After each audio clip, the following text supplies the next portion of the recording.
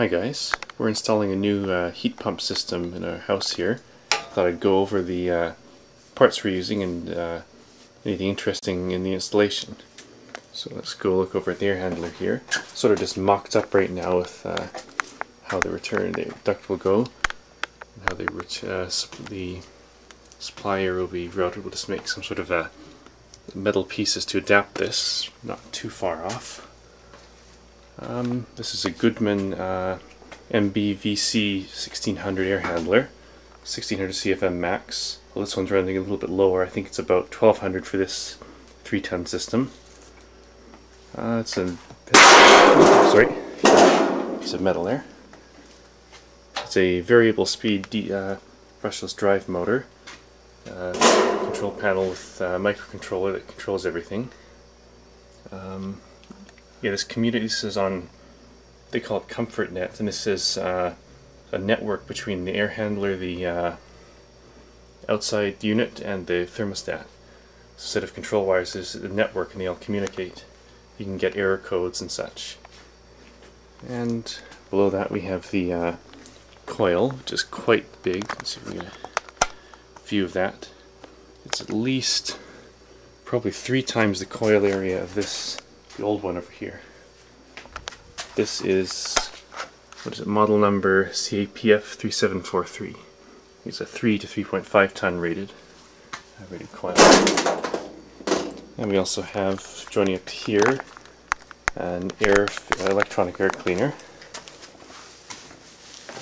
It says these collection cells with uh, charged wires electrostatically uh, track the dirt onto the uh, plates.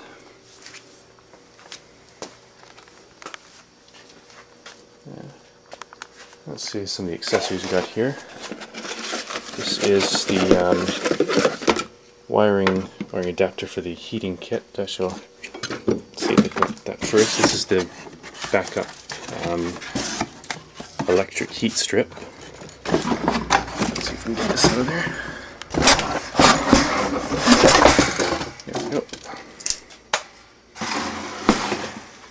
Yeah, 15 kilowatts, a one 10 kilowatt and one uh, 5 kilowatt circuit.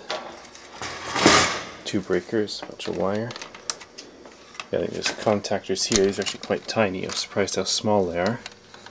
Some, uh, also got thermal fuses there, more thermal cutoffs.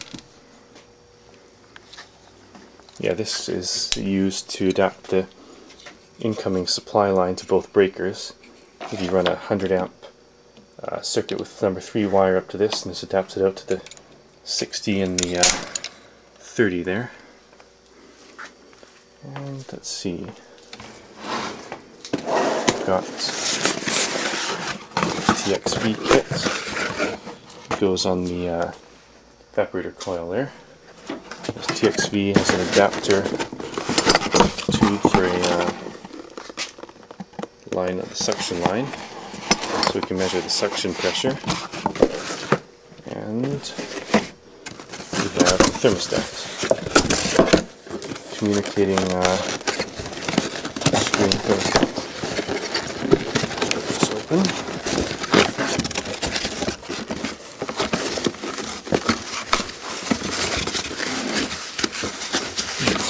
By Emerson it looks like yeah, it just connects with four wires, two for power, two for the, uh, one for transmit, one for receive for the uh, communications. I'll go show you the uh, heat pump unit itself. Here is the outdoor unit. Uh, this is a DSZC 16 oh something. It's the 16 SEER uh, two-stage, two-speed, uh, two-level compressor. I think it has 100% and 70% power approximately.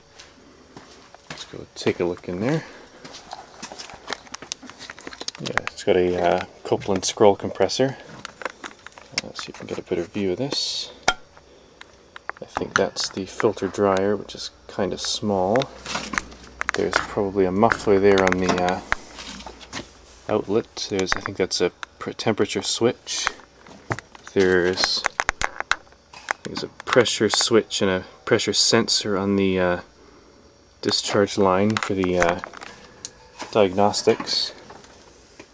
Um, there's the uh, reversing valve. looks like the outside coil is a single uh, layer. Don't see a second layer there. And there is, focus, there's the outside metering valve for TXV. The uh, fan on the outside unit is actually two speed. It's a uh, where is it here? I think it's a 1 6th horsepower. Um, yeah, two-speed motor. So when the compressor's in the low mode, the fan runs a bit slower, so it's quieter. Uh, let's see if we can pull this out and look at the refrigerant connections. Here's the here's the refrigerant connections and the ratings panel. Yeah, here's the proper model number: DSZC160361AA, 208 230 volts. Uh, minimum circuit amps 21 running amps 16 yeah anyway let's continue on with the installation. Since I'm out here I thought I may as well take off the cover panel so here it is. There's not much in there. There's a cap for the uh, motor and the compressor and fan up top and a PCB that does everything um, Looks like your mains connects in here. That's probably the relay for the compressor. There's going to be one for the fan somewhere here. Maybe that does it too. Uh, there's current transformers here to measure so it knows how much current they're drawing. So it can shut down if something draws too much current. Uh, what else we got? Big rat's nest of wires, a little bit. Could be done a bit better. Um, these are using PIC microcontrollers on these. That one's a PIC 18F6722 and can't tell what this one is because it's covered in uh, conformal coating or epoxy. Looks like it's some sort of part for uh, maybe a diagnostics tool or something. What these things are, these are, oh they're covers for the programming parts for the PIC. Yeah, it's surprising how small they've gotten everything. What is this? Is a must be a relay, but there's no um, uh, specs on it. Hmm. Anyway, that, look, that looks pretty good. Well, I think that pretty much concludes this video. Stay tuned for future updates as we install the system. Thanks for watching.